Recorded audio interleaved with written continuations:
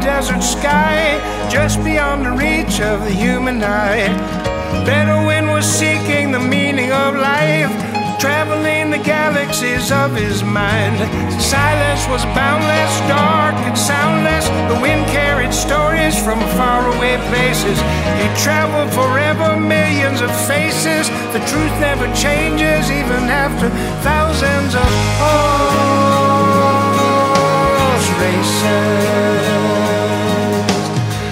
mystical women with deep dark eyes, veils hiding secrets from ancient times, long before borderline.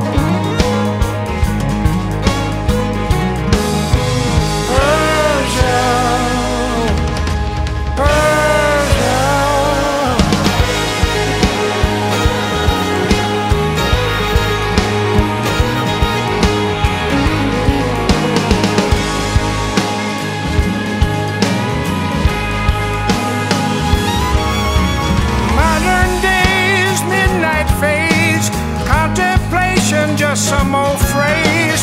Wrapped in cloaks of doubtful dogma, serenity becomes pneumonia. Stacks of cars, vacant faces, skeletons of confrontations. God looks down on his oasis. So much has changed after thousands of races